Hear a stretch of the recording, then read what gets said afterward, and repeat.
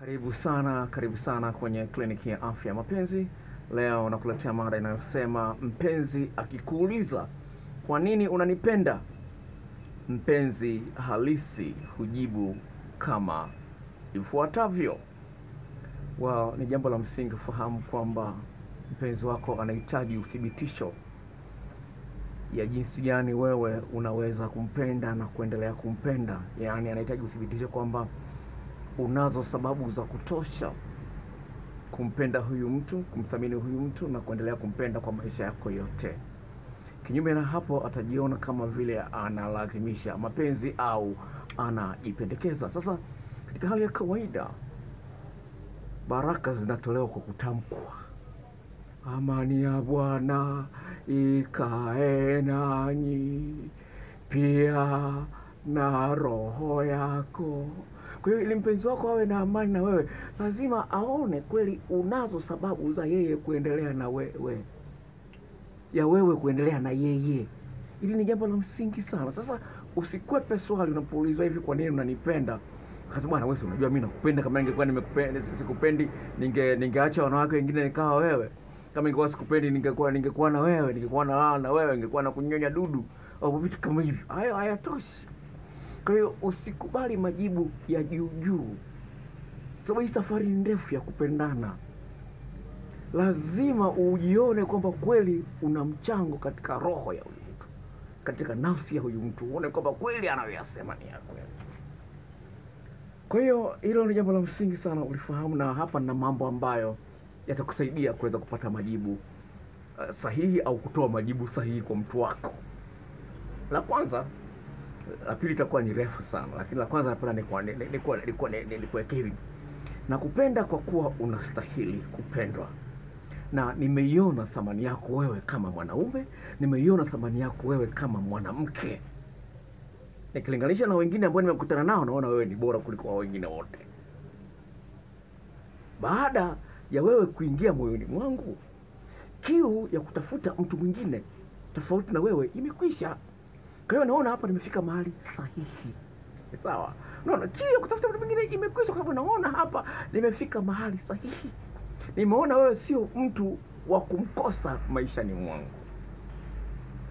Sababu ni nini mpaka unasema wewe sio mtu wa kumkosa? Ndio hapo sasa nataka nikuonyeshe sasa vitu ambavyo ni muhimu kuviangalia, vinatokwa vinatoka kwenye kinywa cha mpenzi wako, au wewe unavitoa kwenye kinywa chako kumwambia mwenzio. La kwanza wewe kwangu ni kama jua linalowaka asubuhi.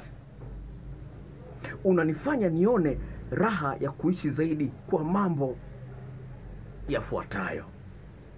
Kwanza, sauti yako unavyoongea kama Dr. Mahaba, sauti yako nzuri, yani, yani nikilinganisha na watu ambao nishakutana nao, naona sauti yako kidogo, nikisikia nasikia moja. Ni ukweli, sawa. Sikiliza sasa, tunaendelea. Sio kuna hilo ni la juu juu sana, naomba nisikilize, sawa. Ninapokuwa na wewe siogopi kuonyesha mapungufu yangu. Huni hukumu, bado unaona nafaa kwako na unaendelea kunipenda japokuwa nimekosea au nimefeli katika eneo fulani, na vile vile wewe ni mwepesi wa kusamehe. Sawa, Biblia inamwita Mungu slow to anger, yani mwepesi wa hasira, si mwepesi wa hasira, yani wasio sio mwepesi wa hasira mwepesi wa kusamehe. Naona kama mwepesi wa kusamehe. Sasa sisi ni wanadamu, kila mtu anakosa, lakini mwepesi wa kusamehe sio niki utaki kunisamehe basi mpaka nibembeleze. Napiga simu mara ishirini upokei, utaki kusamehe. Inaonyesha kwamba huyu mtu ana mapenzi. Ninapokuwa na wewe, sawa, sio wewe. Hiyo nimeshairudia, nimesema sana. La kwanza, husiti kufanya ninaloliomba au ninalolihitaji likiwa juu ya uwezo wako utanipa maelezo yanayoridhisha nafsi yangu. Sawa, yaani tulikuwa juu ya uwezo wako utanipa maelezo yaliyonyooka yanayoridhisha nafsi yangu. Sio kwamba umenikatalia, unaonyesha kwamba hujanikatalia, ila kwa sababu unanipenda utatoa maelezo. Kwa nini uliniambia nijambe nikashindwa kujamba? Siwezi kulazimisha kujamba bwana, ushuzi unakuja wenyewe tu vitu kama hivyo. Kwa hiyo anatoa maelezo kwa heshima zote. Kwa nini imekataa jambo ambalo umeliomba? Sasa unatoa maelezo mazuri, usiti fanya unaloliomba. Hiyo ni jambo la msingi sana. Sawa. Nikifanya makosa ongei na mimi kwa ukali, unifokei kama mbwa. Sawa sawa, unaongea unaongea kwa polepole, unaonyesha jinsi gani bado unaheshimu japokuwa nimekosea, bado unanipenda japokuwa nimekosea. Jinsi unavyojibu maswali yangu, unajibu kwa heshima. Sawa, napokuuliza maswali unajibu kwa heshima, si unajibu kimkato mkato tu kama unamjibu mfungwa wa gerezani. Sawa sawa sawa. Naona jinsi unavyojibidiisha kunifanya niwe mwenye furaha zaidi. Unajali watu wengine, ndugu zangu, marafiki zangu, una, hata wale ambao huwajui, naona unawajali, unawaheshimu hata wale ambao huwajui kabisa. Nimeanza kujifunza tabia hiyo, sio unazarau watu wa ovyo ovyo. Tumeenda hotelini, uh, uh, yule mhudumu pale kakosea, ah, wewe mshenzi, sio ni sisi tutalipa hapa bwana, tutoi hatuli chakula bure hapa. Lakini unaongea na huyu ni, ni mhudumu, ndio mara ya kwanza mkutana, unaongea kwa heshima, unaonyesha wewe unajali sana. Vitu kama hivyo nimejifunza kutoka kwako. Uweze mwanamke anajisikia, mwanaume anajisikia kwamba nami kumbe nimemfundisha huyu kweli ananipenda, ni mkweli. Unajitahidi kuongea ukweli hata kama unauma, na unajitahidi kuongea ukweli. Hilo nalipenda sana na nalithamini sana hilo. Sio mtu ambaye anaigiza mambo, anajifanya kwamba hajaumia, kumbe ameumia. Sawa, hiyo hiyo sipendi. Unaponiambia ukweli, najijua kwamba na mtu ambaye atanijenga kimapenzi sio anani ame, ameweka jambo moyoni alafu anaenda anachepuka anatafuta dudu lingine la kunyonya ili apoteze hasira wakati badala ya kuniambia mimi ukweli lakini ana- ana- ana- anakaa kimya alafu anaenda kunisaliti Hmm, utoi siri zangu. Siri zangu zitoi, ikiwa nimejaa na nyamba nyamba kitandani nikikojolea kitandani siri zangu wapi? wewe kikojozi anakojoa kitandani. Wapi wengine? Wanivumilia, unajua nitapona. Haleluya! Nikiwa naumwa unanihudumia vizuri. Ikiwa sina pesa wanawake wengine kama una pesa anakukimbia ana time na wewe ukimwomba uloda anakimbia. Anasema na nani na, na, na, na, na, natoka chumvi kwenye uchi wangu. Sitaki mapenzi natoka chumvi. Kisa una hela. Lakini wewe sivyo nikiwa sina hela tena unanipenda zaidi. Sawa. Vizawadi vya hapa na hapa havikosi. Mara umenitumia vocha mara yani wewe mwanamke wewe tofauti kweli na wanawake wengine wote. Wengine wana kila siku tunataka hela. Usipompa hela ananuna lakini wewe nisikuwa kiume sina hela. Umenielewa Sa inapenda mwanamke wake, wanawake wengine huko nyuma. Eh, e, yaani kama huna hela anakwambia kakope. Mwanaume gani huna hela?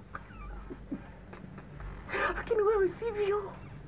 Yaani uko, uko, uko tayari ukakope. Wewe unisaidie mimi nisiyekuwa na hela mwanaume. Nimeshasikia kesi. Mwanaume kamtibu mchumba wake mpaka kapona mpaka iba hela za ofisi mwanamke katibiwa mwanaume kaiba hela za ofisi.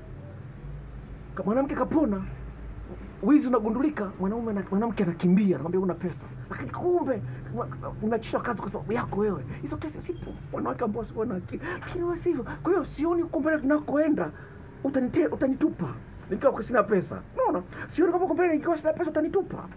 Unaona? Ndio nakupenda na kulamba mpaka matako